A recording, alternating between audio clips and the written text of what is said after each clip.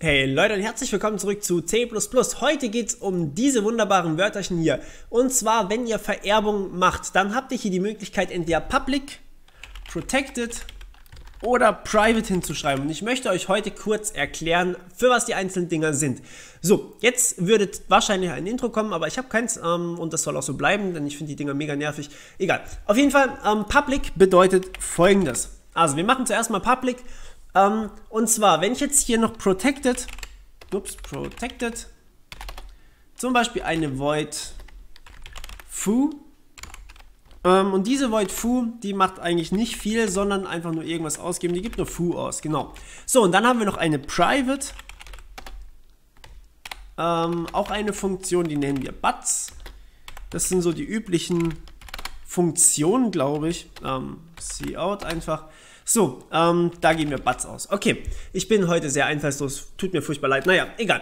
Auf jeden Fall, ähm, ich habe jetzt hier drei verschiedene Zugriffsmodifikatoren. So, wichtig ist folgendes. Bei Vererbung, ähm, ich habe jetzt hier gesagt, jeder Hund ist ein Tier. So, jetzt habe ich ein Problem, denn ich darf Public-Methoden darf ich natürlich aufrufen. Das ist kein Problem. Ich kann hier, wie macht das Tier, kann ich wunderbar aufrufen. Hatten wir im letzten Video gesehen. Aber wenn ich jetzt hier anfange mit foo, foo kann ich ähm, ja, wo kann ich so schon nicht mehr aufrufen, weil ich hier unten irgendwas gemacht habe. Das ist das Problem. Das heißt, ich brauche jetzt hier einfach mal eine ähm, neue Methode und zwar eine, ups, eine void test. Wir nennen sie jetzt einfach mal test. Das ist eine Funktion, ähm, die ist public, die kann ich also von überall aufrufen. Und was die jetzt macht, ist, die macht einfach quasi äh, das, was ich euch zeigen möchte für mich. Ähm, und zwar, bei Public-Methoden sieht es so aus. Ich kann diese Funktionen, die public sind, kann ich überall aufrufen. Das ist absolut kein Problem. So, bei Protected Methoden bin ich schon ein bisschen, ähm, ja, habe ich meine Limits. Und zwar kann ich diese Methoden, die protected sind, nur innerhalb der Klasse aufrufen. Also hier drin zum Beispiel in der Butz, in der Foo oder in der Wie macht das Tier. In diesen drei Fällen, also hier quasi in der Klasse Tier, kann ich ohne Probleme meine Foo-Methode aufrufen. Das ist kein Problem aber ich darf sie nicht außerhalb von, meinem, äh, von meiner Klasse aufrufen. Jetzt ist aber noch ein kleiner Unterschied zu Private und zwar meine Protected Funktionen oder Methoden, die darf ich in meinen abgeleiteten Klassen, also in meinen Unterklassen, zum Beispiel Hund, die Klassen, die von Tier erben, die dürfen diese Methode aufrufen. Das heißt, wenn ich hier jetzt foo aufrufe ähm, und hier unten rufe ich einfach Test auf, dann habe ich sozusagen einfach diese Protected Funktion umgangen. Weil ich habe ja im Prinzip nichts weiter gemacht, als hier Foo aufzurufen. Naja, das darf ich ja. Es ist ja eine Protected-Methode und ich rufe sie innerhalb einer abgeleiteten Klasse auf. Das heißt, das ist völlig in Ordnung. Aber meine Testmethode, die ist public. Und die kann ich von überall aufrufen. Das heißt, ich habe im Prinzip so ein bisschen dieses Protected hier umgangen. Ähm, was natürlich teilweise ein bisschen, naja, sollte man vorsichtig mit umgehen, aber ist nicht ganz so schlimm. So, jetzt kommen wir zur Buts. Jetzt haben wir natürlich nochmal eine Einschränkung mehr. Also die hier kann ich nur innerhalb meiner Klasse und in allen abgeleiteten Klassen aufrufen.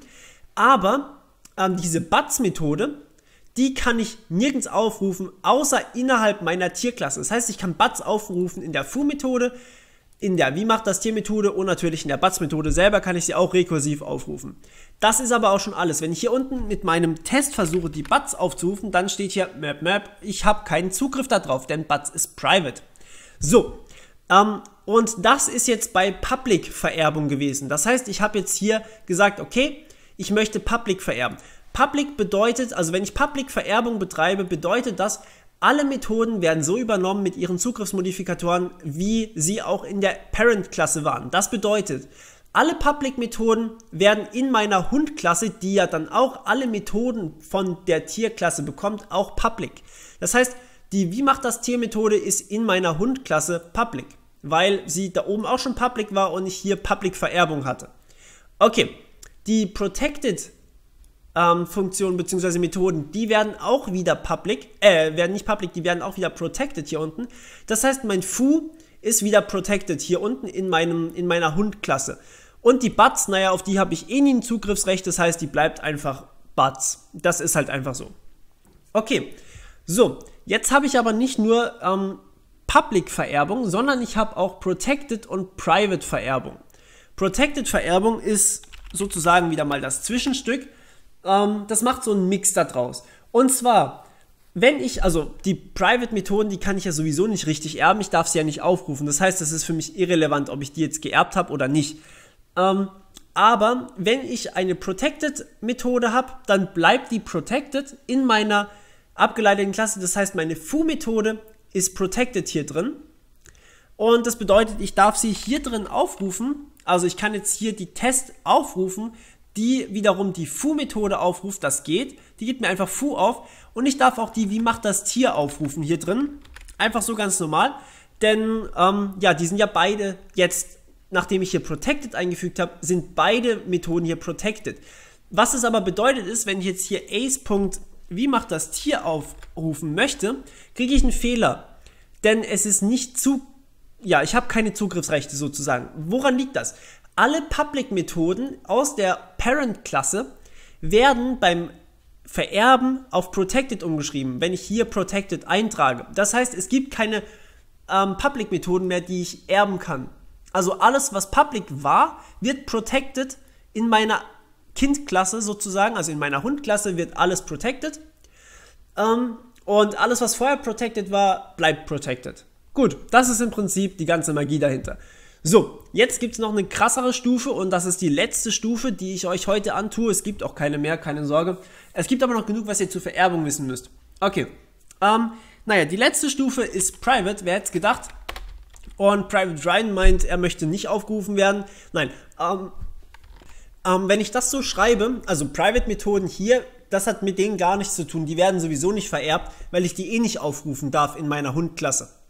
Aber ich darf hier in meiner ähm, Hundklasse theoretisch die Wie macht das Tier und die Fu-Methode aufrufen. So, und was jetzt der Unterschied zu Protected ist, die beiden werden, statt dass sie Protected werden, werden Private in meiner Klasse. Das heißt, wenn ich jetzt sagen wir mal eine Klasse Dalmatiner hätte und die erbt Public von dieser, äh, von dieser Klasse Hund, wir können uns gerade mal einen schreiben, ähm, Class Dalmatiner. So, die erbt Public, das heißt, sie bekommt alles so, wie es in dieser Parent-Klasse auch ist, mit. Ähm, Klaas Dalmatiner erbt Public von der Klasse Hund. So. Und was ich jetzt mache, ist einfach gar nichts. Ich sage hier drin, okay, es ist einfach alles leer. Ähm, ich mache hier mal ein bisschen leer rein, damit ihr das auch super sehen könnt. So, und jetzt erstelle ich mir hier einfach mal einen Dalmatiner. Und rufe hier drauf die Wie macht das Tier Methode auf. Dann habe ich schon mal ein Problem. Weil dann darf ich das nicht mehr. Äh, ja, erstens mal, weil ich schon wieder das Semikolon vergessen habe. Und zweitens, hier steht ähm, wahrscheinlich seht ihr das nicht mal. Ich habe keine Ahnung. Egal. Auf jeden Fall ähm, darf ich das nicht mehr aufrufen, weil alle Methoden, die ich aus der Tierklasse geerbt habe, also diese Public und Protected Methoden, die werden umgeschrieben auf Private. Das heißt, hier drin sind sie jetzt Private. Das heißt, wir haben keine Public Void, wie macht das Tier, und keine Protected Void Foo, sondern wir haben eine Private Void, wie macht das Tier, und eine Private Void Foo.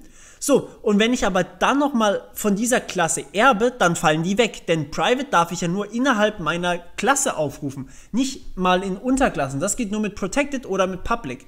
Das heißt, diese Methoden fallen beim zweiten Vererben komplett unter den Haufen. Das heißt, die sind weg. Ja, ähm, das sind im Prinzip die drei Arten, wie ihr erben könnt. Wenn ihr euch nicht sicher seid, oder das Ganze zu verwirrend fandet, TLDR oder Too Long Didn't Listen oder sowas, keine Ahnung. Ähm, nehmt einfach die Public-Vererbung, dann seid ihr eigentlich auf der sicheren Seite. Dann könnt ihr zumindest alles weiterhin so benutzen, wie ihr es wolltet. Okay, das war's von meiner Seite. Ich hoffe, es hat euch gefallen und wir hören uns beim nächsten Mal. Bis dann, ciao.